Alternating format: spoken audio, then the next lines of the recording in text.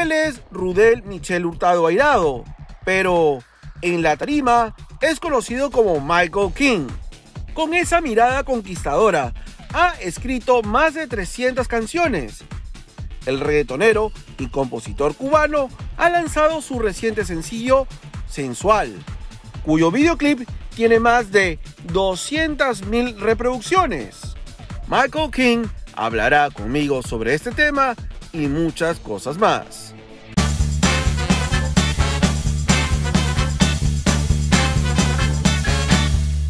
¿Qué tal gente de Toby TV? Soy acá tu amigo Toby, estoy con Michael King que está acá, que viene de Cuba y ha hecho una travesía para llegar, para estar donde está. Y cuéntame, Michael, ¿cómo estás? ¿Cómo te sientes en estos momentos de presentar Sensual? Bueno, yo me siento muy orgulloso, tú sabes, por poder representar a mi gente de Cuba con este tema que está impactando fuerte en el ámbito urbano y tú sabes, con muchas ganas de seguir haciendo música y seguir metiendo manos. ¿Cómo que metiendo mano?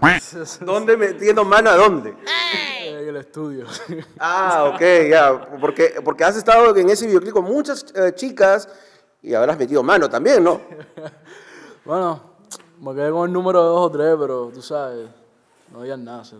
Michael, pero a ver, tu nombre es totalmente diferente, pero bueno, me imagino que en Cuba, Michelle, a Michael, pero Michael King debe haber sido por algo. Sí, yo me metí más de un año para escoger mi nombre, tú sabes. Fue un proceso muy largo que pasé por varias etapas, varios nombres, tú sabes. Y entonces al final decidí Michael King porque creo que es el que más proyecta lo que, lo que yo quiero ser, ¿me entiendes? Lo que yo quiero impactar, creo que es el nombre que mejor me queda. Muy bien, y por, yo me imagino, de repente será cierto, ¿no? ¿Es cierto que de repente la inspiración viene por Michael Jackson, por el rey?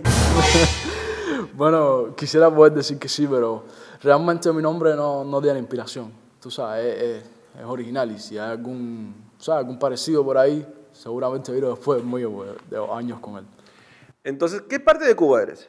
Yo soy de, de, Santa Clara, de la pequeña ciudad que tenemos ahí. Yo nací, me crié ahí y me, me encanta ser de, de Cuba. He leído tu historia y y sé que has pasado muchas vicisitudes, has pasado muchas dificultades para cruzar de Cuba para Estados Unidos y finalmente en la tercera va, o sea, no has parado, o sea, tu, tu persistencia, tu perseverancia ha sido más grande que ese estrecho de 90 millas que nos separa. Sí, hermano, es que a veces el amor es más grande que cualquier cosa, ¿me entiendes? Y el amor por mi hermana, por mi familia, de venir para acá, es lo que me hizo no, no parar nunca, ¿sabes? Y al final del día, bueno, estamos aquí en las tierras de las oportunidades, gracias a Dios, gracias a todos los santos que acompañan y muy feliz, muy bendecido por estar aquí, ¿sabes? Muy bien. ¿Y eso, el, el amor de la música urbana al reggaetón viene desde Cuba o es que esto ya eh, viene de a pocos? No, realmente yo siempre me interesaba más por lo que es hip hop, ¿me entiendes? Lo que es hip hop conciencia, lo que es Aldo, Cancerbero, ¿me entiendes?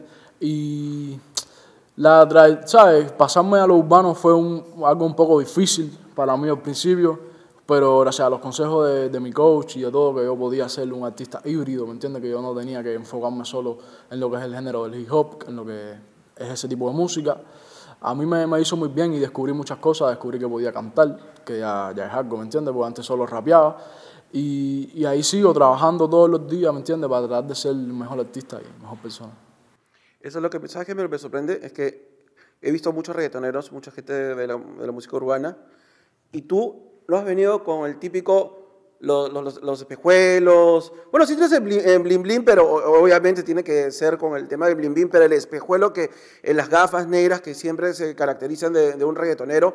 Pero al verte así sin, sin eso, te veo pues una sinceridad y claridad hacia tu persona. Sí, es que a mí me gusta mirar a los ojos cuando estoy hablando con alguien y como sabía que tenía una entrevista no, no quería ponerme unas gafas, ¿me entiendes?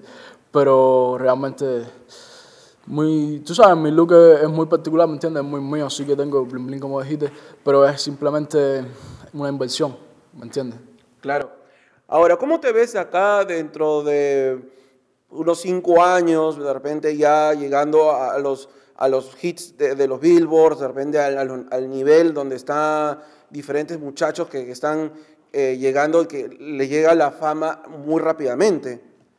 Sí, de aquí a los próximos cinco años yo me veo muy posicionado en la industria porque yo estoy trabajando súper duro, estoy poniendo el 200, 300% de mí en el estudio, en las canciones, en todo. Y entonces, tú sabes, yo espero que estas semillas que yo estoy poniendo hace años ya den su fruto. Muchos reggaetoneros ponen que tienen casas, tienen carros, tienen lujos, pero tú al tener de repente mucho, mucho de eso, ¿qué es lo que primero que darías? ¿Qué es lo que primero eh, eh, regalarías o tendrías, te gustaría tener? Lo primero que yo me comprara. Mm, bueno, yo lo primero que pienso comprar son dos casas. Una para mi mamá y otra para mi papá. De ahí para allá, lo que venga. Las chicas se preguntan, justo ahí están grabando, dice, ¿tiene novia Michael King o no tiene novia? ¿O está el corazón abierto? Bueno, Michael King hoy por hoy está soltero.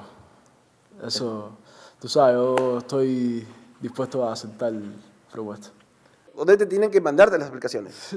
Bueno, normalmente me pueden encontrar en Instagram como Michael King Oficial y en todas las redes sociales, en verdad. Oye, en todas estas entrevistas que, has tenido, seguro que has muy cansado, y agarré esta pregunta de, de mi colega Jaime Bailey.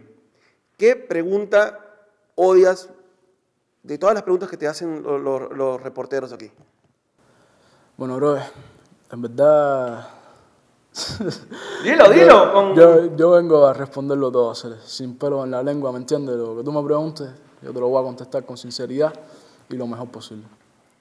Cuéntame, ahora volviendo al tema sensual, ¿cómo fue la inspiración, cómo fue el proceso artístico, el proceso creativo de, este, de esta música y obviamente el videoclip? Bueno, fue un proceso muy bonito para mí. Tú sabes, fue excelente conocer a, a Echo, tú sabes, excelente productor que ha, tú sabes, producido millones de éxitos, ¿me entiendes?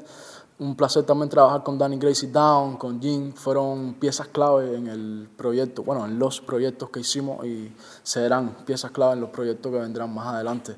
Para mí fue, fue una bendición también poder grabar el video con, con Cacho tú sabes, fue, hizo, hizo un trabajo impresionante.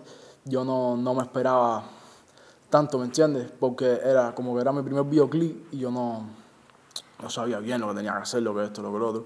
Pero en fin, tú sabes, hay, como yo digo a veces, hay, cosas que tú nada más las vas a poder hacer una sola vez.